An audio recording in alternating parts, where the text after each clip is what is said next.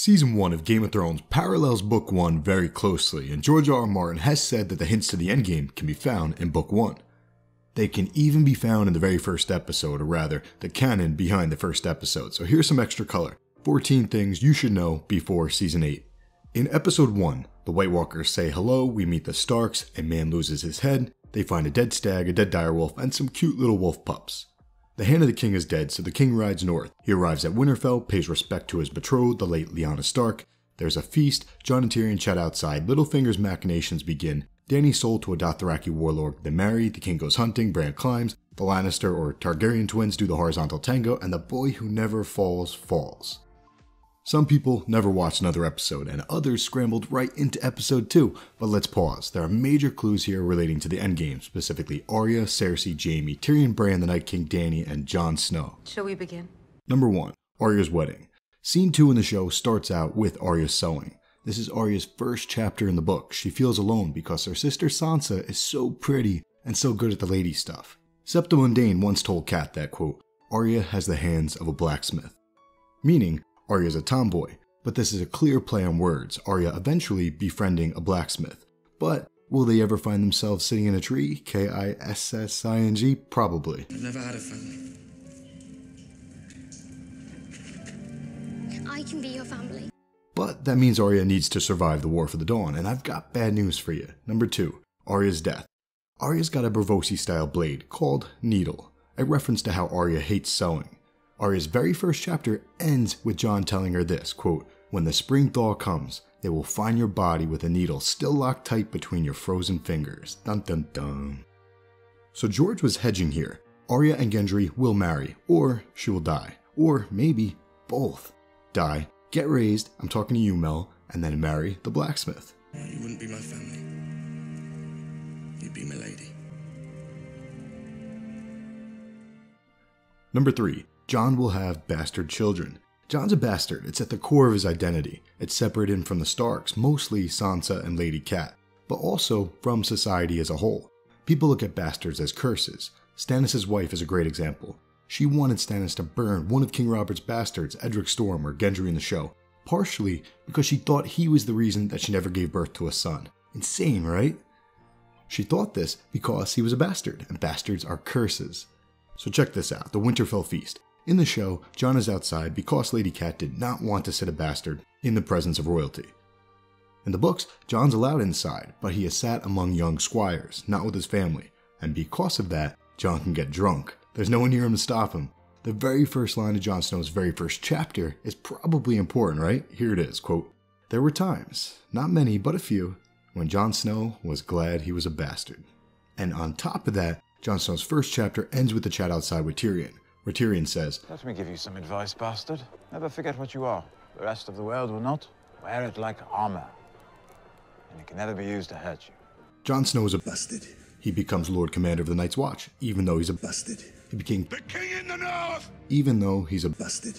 If you think that Jon Snow is going to throw all that away by changing his name to Jon Stark or Jon Targaryen, You haven't been paying attention. Jon Snow will always be Jon Snow. I don't care if he's a bastard. Ned Stark's blood runs through his veins. He's my king. From this day until his last day. He is the White Wolf, the king in the north.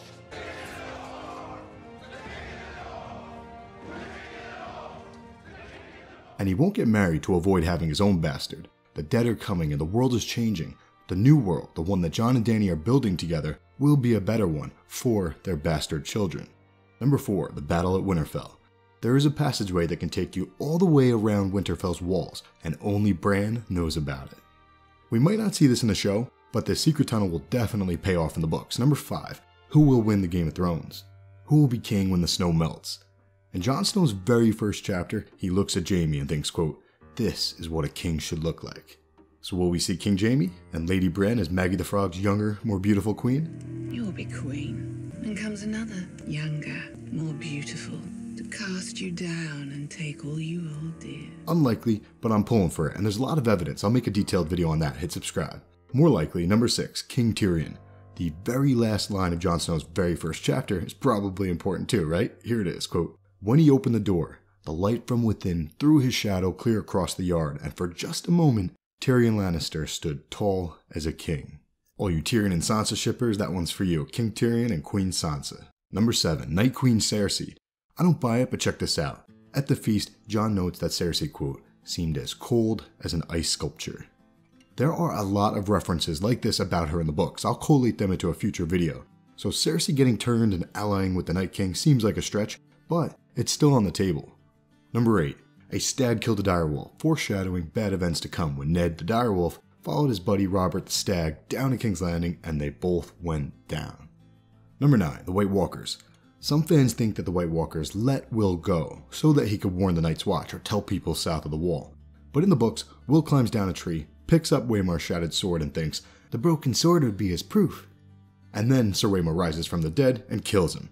So the White Walkers did not let him go in the canon. It's the older dude who was watching the horses who ends up escaping, and there's no proof that the White Walkers let Garrett go per se. So take that for what it's worth in your own theory crafting. Number 10, the Night King.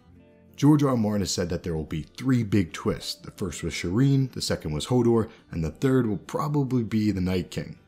Before Will was killed, he counted 12 wounds in Waymar, implying 12 White Walkers took a turn at slashing him.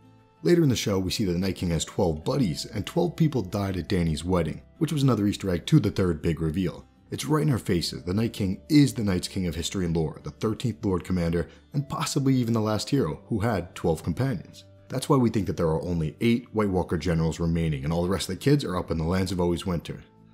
Number 11. The North does not remember. Later in the story, Bran asked Bloodraven, What must I learn? And Bloodraven said, Everything. And in the books, Bran asked Jojen, What do the trees remember? And Jojen replied, Truths the first men knew, forgotten now in Winterfell. The Northerners use the term the North remembers quite often, always related to vengeance, though, to violence, to hate, when in all actuality, the phrase relates to something much bigger the past, the far past, the White Walkers and the Night King. Will told them what's up. The White Walkers are back, but the Warden of the North, Ned Stark, did not believe him. Ned didn't believe that the White Walkers are back. In fact, Ned wondered if they ever existed in the first place. We all love Ned, but come on, dude, you're no King of Winter, that's for sure. Meanwhile, Cat, a non Northerner, was already fearing the White Walkers. So the North remembers my ass. Number 12, Daenerys Targaryen, the fake Azor Ahai we get several references to rubies and red priest in Danny's first two chapters, a sign that Illyrio was working with the faith of R'hllor. And eventually, Danny becomes their champion. Not the real Azor Ahai, that was her brother, Rhaegar. But Danny is the false Azor Ahai. The Red Faith prophesied Azor Ahai, a red herring. This explains why Illyrio gave her three priceless dragon eggs, because he was in cahoots with the Red Temple. The dragon eggs come from the Shadowlands beyond Asshai.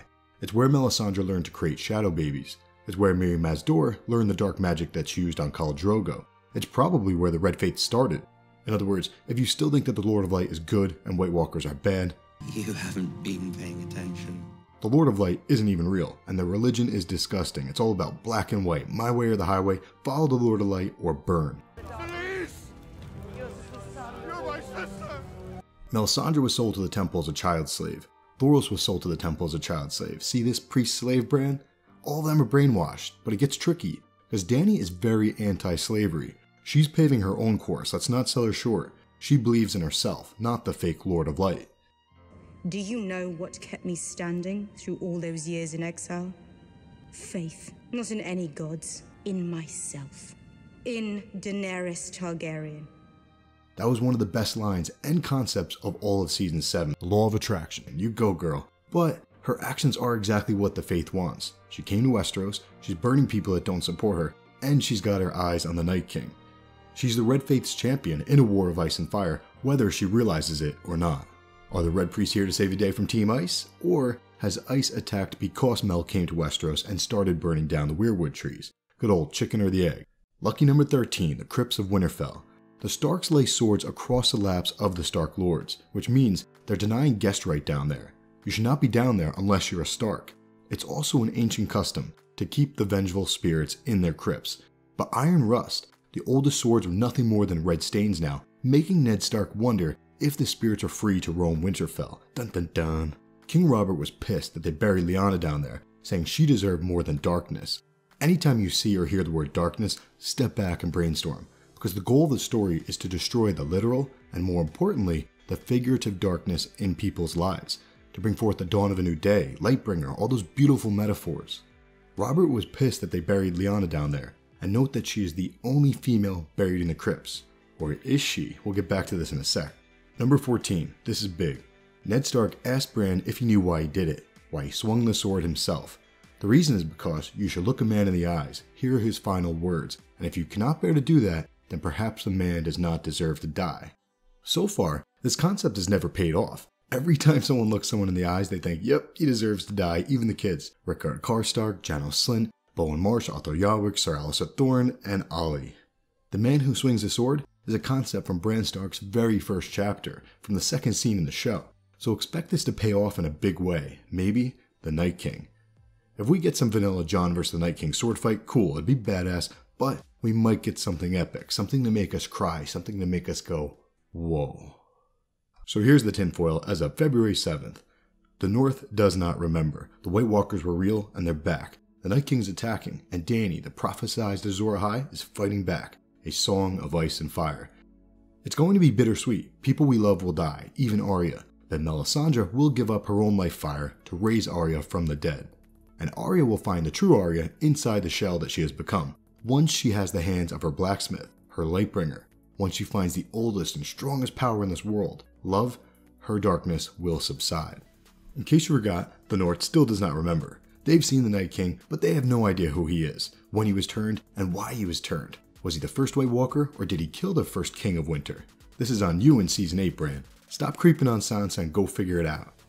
Robert's Rebellion was built on a lie, and Bran will find out that many of the songs of history and lore are also lies, written by the winning side. The Night King was a bastard. He became Lord Commander of the Night's Watch and fell in love with another, a woman beyond the wall. How dare he? How dare he fall in love? What a scumbag. Oh, wait, that sounds kind of like. Maybe the Night King's name is Jon Snow. There's some evidence, check out that video. He became the Lord Commander, fell in love, declared himself king, and his wife his queen. Then his half brother, Brandon Stark, King of the North, tried to kill him, and he did kill his lover, the Night Queen. He imprisoned her in the Winterfell crypts, but the iron has rusted.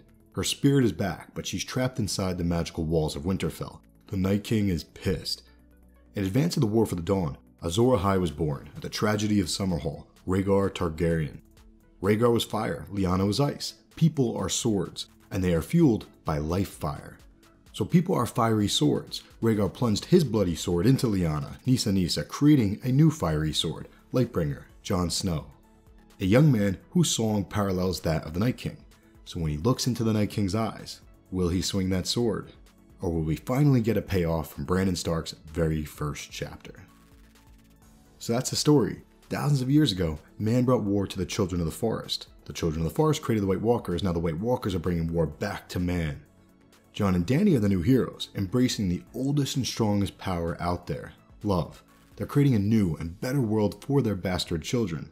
The story began with the children, and it will end with the children. Everything coming full circle. Tyrion will probably be king, Sansa queen, but it'd be pretty poetic if Jaime Targaryen, Kinslayer Kingslayer, becomes a Kinslayer Queenslayer, saving King's Landing over a million people from wildfire again.